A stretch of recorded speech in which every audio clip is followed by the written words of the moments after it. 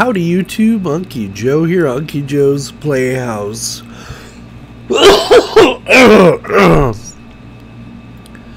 Never ever let it be said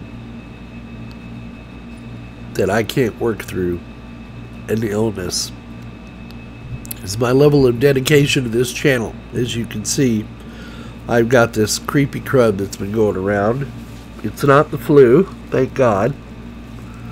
But it is a nasty head cold. My eyes are watering, my nose is running. You See how much bigger it is? It's all red, full of snot, and I just feel awful. But it's not going to stop me from making videos on my channel. And today, we have a follow-up to our ESXi install.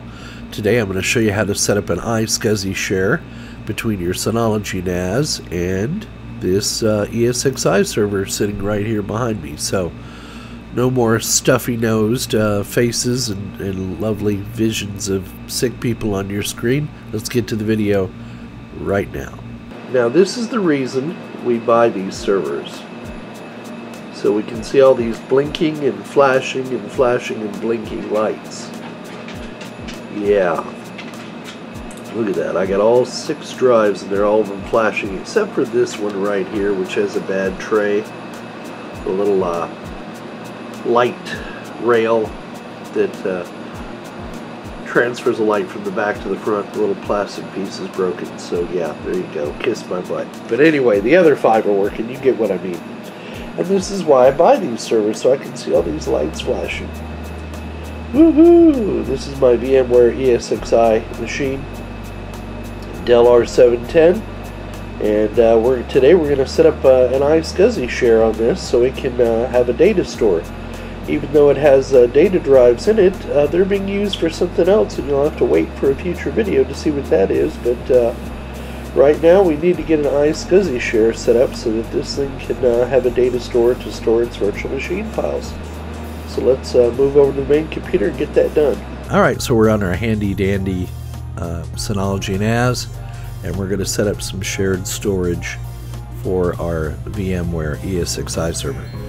So I think what we're going to do is come over here to SCSI Manager, go to Target, and we're going to create, you see I've got one for the Dell Lab, Dell Lab 2, and the IBM Lab. We're going to create one for VMware. So we'll click on Create, and we're going to call this ESXi dash Dell. Same thing with the IQN, we'll call it ESXi dash Dell. I just like to keep those consistent. Now, I'm not going to enable CHAP. I don't use security on my iSCSI targets because I'm in a I'm in a lab environment, so I'm not real big on uh, encryption or on passwords. So we'll just leave it set to that. Now we're also going to create a new iSCSI LUN logical unit number. Click on next and we will call this uh, ESXi Dell. Now the location is going to be volume 1. The capacity is going to be 500 gigabytes and I am going to enable uh, I am going to enable thin provisioning um, let's see. Thin provisioning becomes uh, thin provisioning provides more efficient storage use via over allocation.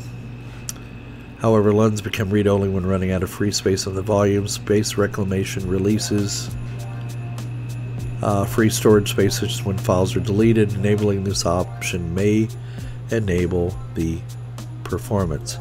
So I'm going to do yes, but with space recl uh, reclamation and advanced LUN features. I think that's how I have the others set up. So we'll click on next. Uh, we're about to create a LUN within provisioning. When the LUN runs out of free space, it will become read-only, and this may cause data loss. So you need to be aware of that, and you can set up a notification when the volume uh, runs out of space. So click yes, and then we'll click apply. And then we should see our ESXi Dell, and it should be ready. Alright, so now that we've created the adapter, the next thing we want to do is come here and configure our VMware uh, iSCSI storage. So we'll come here to storage, come up here to configure the iSCSI adapter. Now, I've already done this once, so my targets are already appearing here, but what you would normally do is add a dynamic target right here. You would enter the IP address of the machine, which in my case is 5.3. The port you can leave at default. Then save the configuration, and then you can come back in to configure iSCSI, and then you will see all of your static targets here on that server. Alright, so since we now have our Synology connected, what we need to do is create a new data store based on that Synology NAS because as you can see, we don't have anywhere to store our virtual machines. And if we're going to install any kind of virtual machine, we need some storage. So click on New Data Store. We're going to create a new VMFS data store. Click on Next. And now this is where all of our hard work with our iSCSI comes in handy.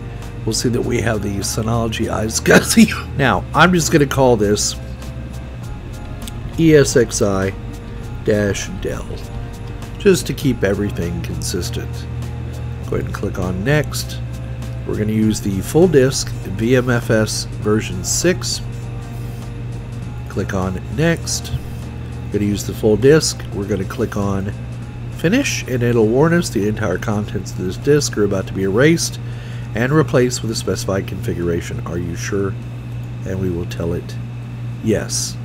Now, down here, you'll see it's created the VMS data store.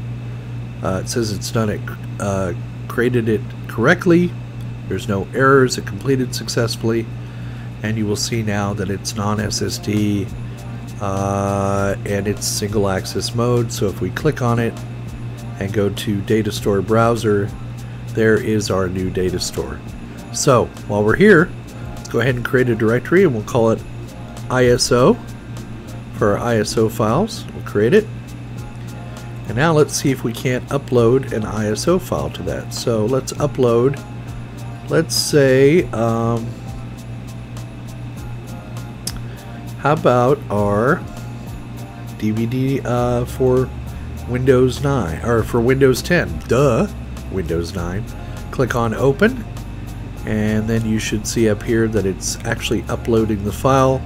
And if you look down here in the tasks, down here at the bottom, you'll see it's running and it's actually uploading that ISO. Alright, so it looks like it was successful. We've got our ISO file. Go ahead and close that, and we'll come back to our host. So, we have successfully, now it's warning us the host needs to be rebooted to complete a configuration. So we're going to go ahead and tell ESXi to reboot. And we'll reboot the host. Alright, so we got through it. We got it finally set up. as a little convoluted the way I went around it. Now you're probably wondering to yourself, why didn't you just put hard drives in this Dell? Well, as you can see, I do have hard drives in this Dell. But why didn't I just set up a data store on one of these hard drives? Well, I have other plans for those hard drives in that Dell. One thing that's irked me about these R710s and even the IBM is that I've never put them to full use. You know, even though they're 11, 12 year old machines, they're still very powerful. And I have yet to do what I ultimately wanted to do, which we'll cover in another video. But I wanted these drives to be available as pass through devices that's why I went with ESXi on this unit. I have plans for it. And I killed two birds with one stone. I'm able to also set up and show you how to set up an iSCSI share. And most of my VMs will run off of my Synology iSCSI share. So there's a method to my madness, but you're just going to have to wait for another upcoming video to figure out what that madness is. But you can see I've got those drives in there, uh, and they are in use. So there you go, YouTube. Again, I'm sorry I'm ill, but I wanted to get this video out today uh, as a follow-up to my uh, VMware install video, uh, just so I can kind of complete the puzzle. Now, the next video we're going to be doing is on uh, VMware vSphere or uh, vCenter vSphere, whatever you want to call it. I don't hell, I don't even know what to call it. We're going to install that, get it configured now that we have the iSCSI shares set up. So it's all part of this little series. So we hope you found the video entertaining and informative as always. Please smash that like button down below.